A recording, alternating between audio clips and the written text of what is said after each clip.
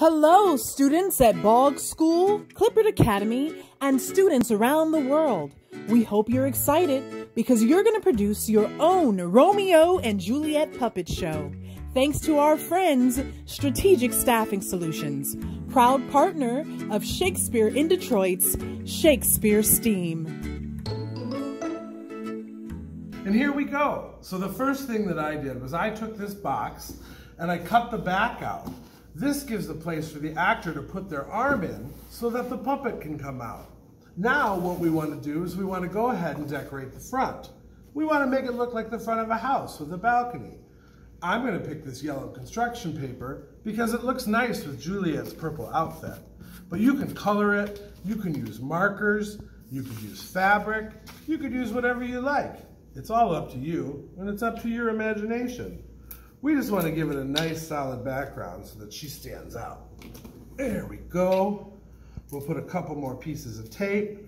You can also use your glue stick that you use for the puppets, but it's totally acceptable to use whatever you have at home just to make it work.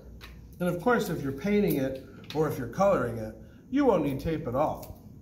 This is what we had around at Shakespeare in Detroit, and we're trying to use the materials that we have. So there we go. There's the front. The front is all set up. Now we need to decorate it. We need to have flowers and maybe some other things growing up it. I made some vines here out of green paper that I twisted up. I'll show you how I did that. I took long strips and I cut them out, and now I'm going to crumple them up because the paper is easier to twist it once it's been crumpled. So that just gives us a little easier to work with. And there we go, we're twisting, and we're twisting. And the paper might rip, that's okay. But if you're painting it or if you're doing anything else, you can do it however you like. But that just gives us some texture and something fun. So there you go. Now what I'll do is I'll take some tape and I'll put some at the bottom of our vine, just like that.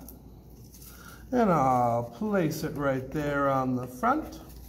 And then let's decide where else should this vine go. Maybe it winds a little bit over this way. So we'll give it another twist. And we'll put it there just like that. And we probably need another one just to help secure it, I would think, at the top. And so we give it one more piece and look at that vine climbing up the wall. Well, now that vine needs some flowers. So what should we do? Maybe we could put a little rose on there. That might be neat. But let me show you how to make that rose first. Same way as you would the vine, take a strip of red paper. Then you can crimp it just like that and start wrapping it around itself. And every so often, if you give it a little crimp, you'll get a fun little wrinkle in the fabric. And that helps make it looks like makes it look like the petals of a rose. How neat. And then you tape the bottom of it with our tape. And that kind of holds it all in place. Something fun. Maybe you could find some cool fabric or even real flowers if your mom or whoever gardens has some nice flowers outside.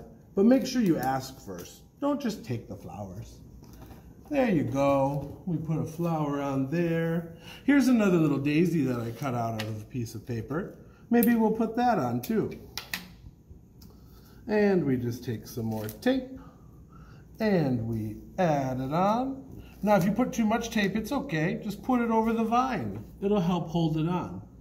So you go ahead and you can cover your box with all of these vines however you like, and you can put as many or as little flowers on there as you want. And that, friends, is the best way to start making a stage for your awesome box puppets.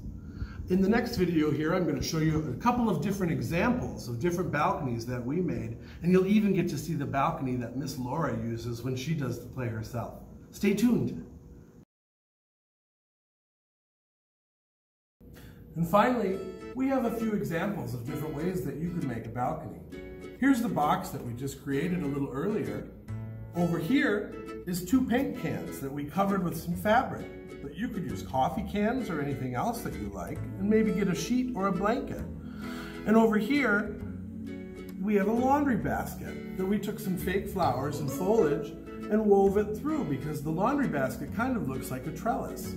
All of these are things that most people have at home, and I'm sure a lot of you have these home, at home as well. So we hope that you get creative and you use your imagination and find something awesome to make a balcony with. Thanks! Don't forget to like and subscribe, and always, always remember to send us your pictures of your creations so that we can show everybody on our Facebook page. Have a great day!